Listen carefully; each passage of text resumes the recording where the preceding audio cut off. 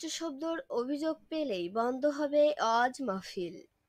সাতক্ষীরা সরকারের নির্দেশনায় অজ মাহফিলে উচ্চ শব্দ ব্যবহারে জনদুর্ভোগ লাঘবে ব্যবস্থা নিচ্ছে সাতক্ষীরা জেলা প্রশাসন। ইতোমধ্যে এ বিষয়ে পুলিশ সুপার, উপজেলা নির্বাহী অফিসার ও ওসিদের নির্দেশনা দেওয়া হয়েছে। এর ফলে কোথাও ওয়াজ মাহফিলের উচ্চ শব্দের অভিযোগ পেলে মাহফিল বন্ধ করে দেওয়া হবে। সাতক্ষীরা জেলা ম্যাজিস্ট্রেটের কার্যালয় থেকে সহকারী কমিশনার ইন্দ্রজিৎ সাহা স্বাক্ষরিত পত্রে এই নির্দেশনা জারি করা হয়।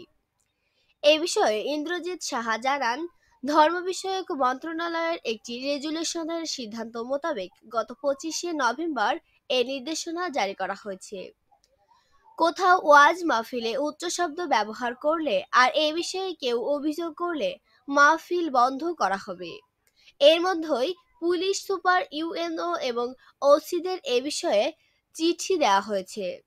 তিনি আরও বলেন, ওয়াজ মাহফিল মূলত রাতে হয়। উচ্চ শব্দের কারণে রাতে মানুষের ঘুমের সমস্যা হয়। জনদুর্ভোগ হয়। আর এ কারণে কেউ যদি অভিযোগ করে, তবে জনদুর্ভোগ লাঘবে, মাহফিল বন্ধ করা হবে।